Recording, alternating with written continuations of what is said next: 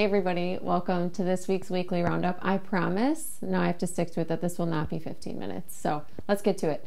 Uh, first things first is our uh, annual street update. So we will be starting crack filling next week in the areas of Milford Street and Market Street. So crack filling is kind of like that black worm that looks like it goes uh, in the road. It is a maintenance effort that we do, and sometimes we crack fill uh, roads and then we work on uh, seal coating them in, in, years to come. So, needless to say, you're going to see um, some of our contractors out in the roadway around Milford and Market. So, please be mindful of them there. Uh, on our annual street work, 11th and 12th, uh, the work we're doing near Western Avenue is going well. Uh, the water main install is done. Stu- uh, storm sewer is going in um, now. So, things are progressing well there. Water main installation is starting on Oconomowoc Avenue. Um, so, that project is moving along.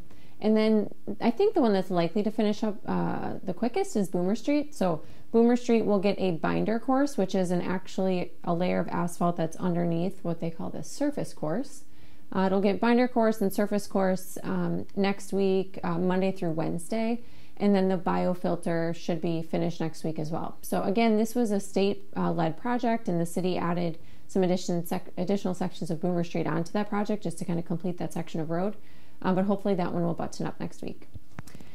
As you know, we've had a lot of projects going. So we did have a retaining wall project at the Senior and Community Center. It was the retaining walls that looked out over uh, the river. Those were failing and leading to a variety of issues, including flooding.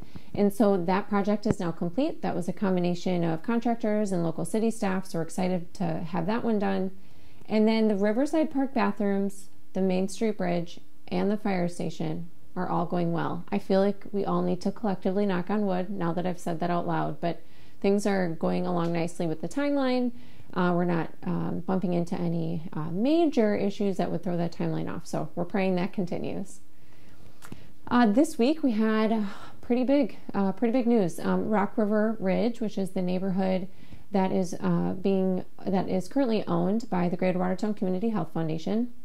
Um, that neighborhood that we've talked about for a few years, we approved this week a development agreement with the foundation for the development of that land. So, what that means is that uh, we have agreed that the city will be a partner in this development. Uh, and in exchange, Rock River Ridge uh, will have 78 single family homes, 18 twin homes, and then there's also uh, a multifamily housing uh, deal that is being discussed with um, a a well-known uh, multifamily developer. Um, that project in particular will, will come to uh, public meetings in probably the fall, probably Octoberish. Without getting into too much detail, there is a date in September that you, you want to be mindful of when you're doing these types of deals because of the way TIFs can be uh, created. And so we're going to bring that one after that point in time, and we'll have that come uh, ready to go in October. Um, next week, our meetings are a little bit lighter than what they have been, which is good. Uh, so we'll have Historic Preservation and Downtown Design Commission, kind of a small public works, but then we have a lot going on at Plan Commission, and I wanted to highlight that. So at Plan Commission, we have three major projects. Uh, one is from Bielinski. So Bielinski has been, you know, building uh, in the community for I don't know the better part of probably, you know, two decades maybe at this point. Um, and what they're going to be doing is proposing a change to a general development plan that would change a certain area on their plan from sing- single family small lots. Um, this is essentially single family homes with reduced size lots, which can make those homes more affordable to more folks. Um, they're looking at a total of 53 lot, or yes, 53 lots in three phases. Kind of a tongue twister. Um, so we'll hear um, their proposal, and then the Plan Commission is only deciding to set a public hearing date. So that means the next opportunity will be for members of the public to come to the Common Council uh, and attend the public hearing.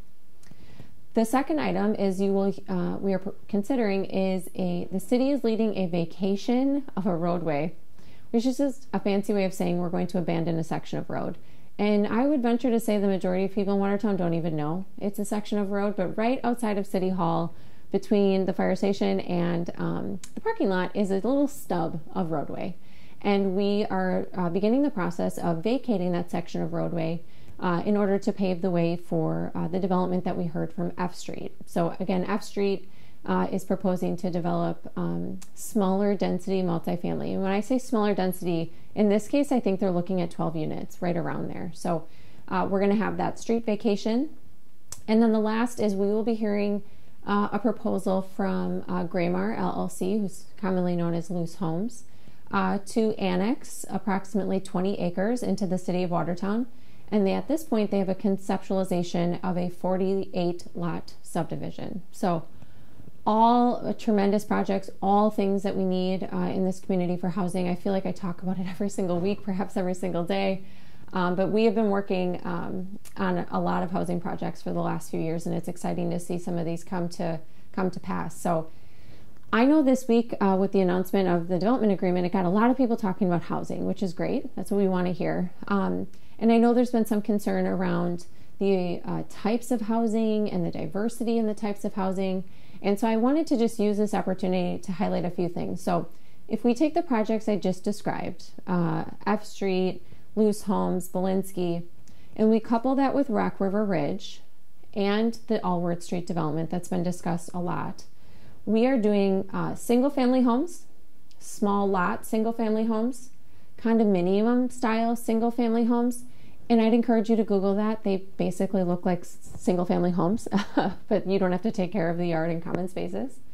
Twin homes, so side by side duplexes, we're doing we're having a proposal for higher density multifamily. In this case, that's the Alworth Street um, apartments. I think that's around 128 units, and then lower density multifamily um, with F Street. So I think I maybe just rattled off five, maybe six or seven different types of housing, and that's the important part. Like that's the game that we are working to play. The sequencing we're trying to to make happen because yes, some of that will be unaffordable for some people um, but what it does is it brings new people to our community, which is great. They have uh, resources that they can spend and support our little local microeconomy. And then it opens up housing. You guys have heard me talk about this cycle many, many times. Um, if my neighbor is looking for one of those seven types of housing, then it frees up my neighbor's home. And then someone can afford, you know, the 200 ish, I have no idea, $1,000 home. So I, I just want to, you know, keep people remembering that we are playing a long game, a long strategy around housing and the housing types that we're bringing into the community. And if you want to know more, I'd encourage you to ask. I mean, we love talking about housing uh, because it's what we know over time uh, will grow our community. Um, and just just as a point of reference, Rock River Ridge, as an example, will add over nine hundred thousand dollars to our tax base. So that's $900,000 that we wouldn't have had elsewhere. Um, and as things get more and more expensive, I'm sure you guys can piece that together. I mean, that's beneficial for everyone in the community. So we'll keep talking a ton about housing, but I just wanted, just in uh, kind of in this moment of reflection, to realize like, dang, we have you know six or seven different types of housing we're working on. Those have varying price points, and that frees up other housing in our current system. So we're going to keep trudging away at it. All right, that's enough of that one. Uh, license renewals. I talked about it last time. I'll probably try to talk about it one more time because it's really important.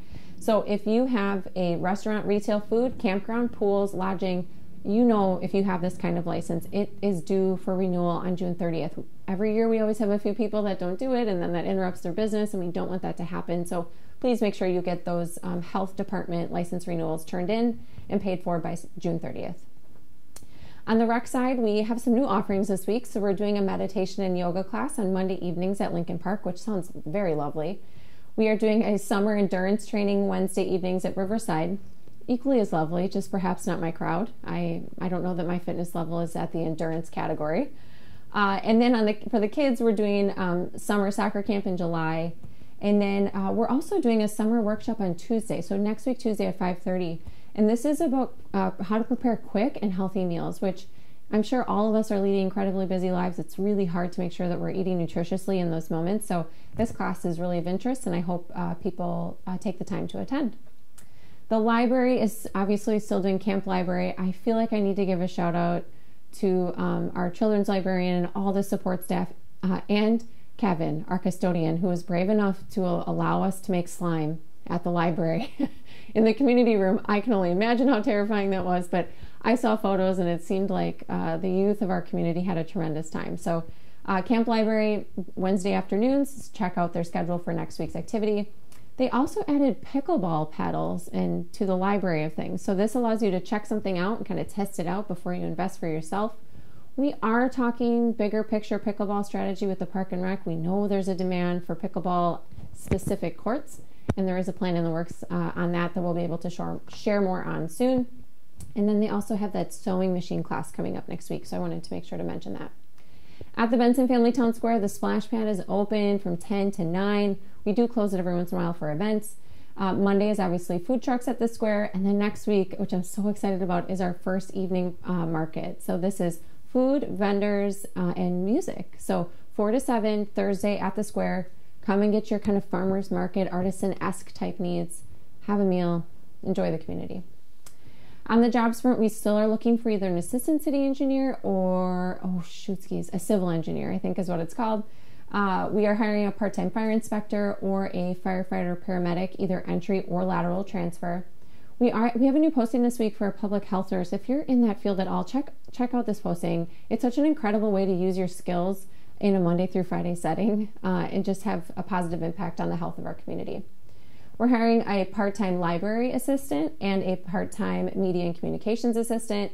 And then uh, three other ones that are uh, very important a water operator at, at our water department. We are in really serious need for dispatchers. If you're even wondering if you want to be a dispatcher, can you please just reach out to us? We will do our best to kind of give you insight into what a day in the life of a dispatcher looks like. In fact, that's a little teaser. We're going to be putting out a, I think, a video soon about what it's like to be a dispatcher.